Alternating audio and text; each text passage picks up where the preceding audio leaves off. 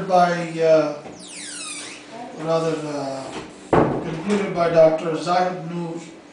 Uh, He has scanned, uh, he's done the magnetic resonance imaging of the cervical, cervical spine. Uh, He studied the cervical spine, uh, lumbosacral spine, and then he reports the disc bulges at uh, C5, C6, and C6 and C7 level with a focal cord edema at C5, C6 level. The focal cord edema in the neck uh, primarily signifies uh, some kind of viral infection there.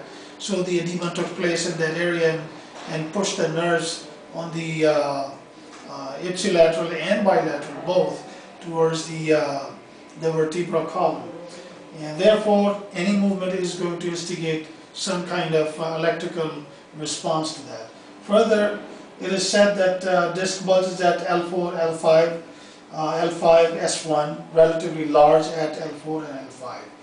The bulging of the disc itself has been noted to be the uh, uh, viral instigation.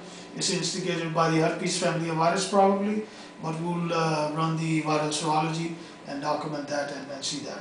This patient is treatable uh, by antiviral and the immunotherapy to complement his uh, immunity, and he can be out of this uh, misery.